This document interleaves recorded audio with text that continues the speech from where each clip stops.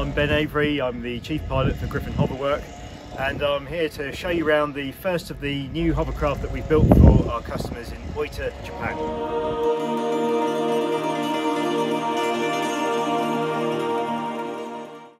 So we're stood alongside the first of the Japanese craft, which is Baien. It's a 12,000 TD hovercraft and it's here based at Ryde for its Sea Trials programme. The Sea Trials programme consists of various different tests that we have to do with the hovercraft. They include float tests, steering tests, uh, speed runs and endurance runs.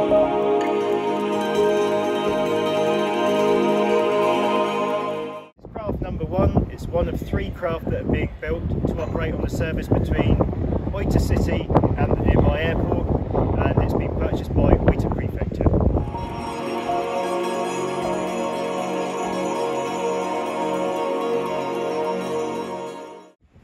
craft is 25 metres long, which is 2 metres longer than the standard 12,000.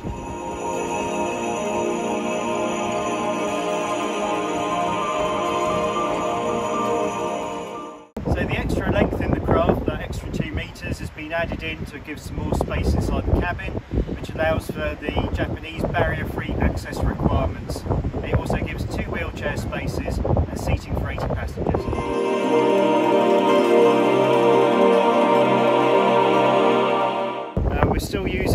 MAN V12 1000 horsepower diesel engines as well but due to the extra length of the craft we've changed how that power is distributed between the propeller and the lift fan.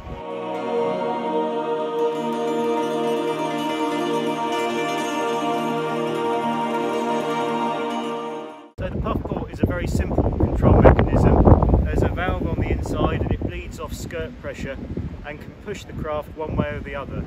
It's not something we would use in normal operation, it's for very fine manoeuvring and for the customer in Japan they have quite a tight space in their boathouse and it will be used to help them park the craft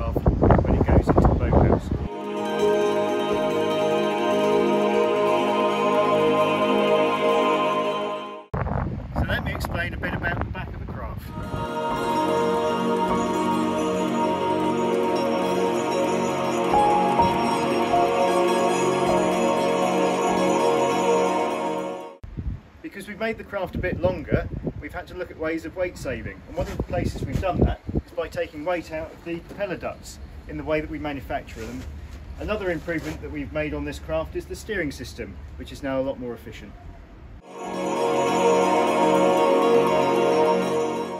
Join us next time in the autumn when we'll give you a tour of the inside of the craft.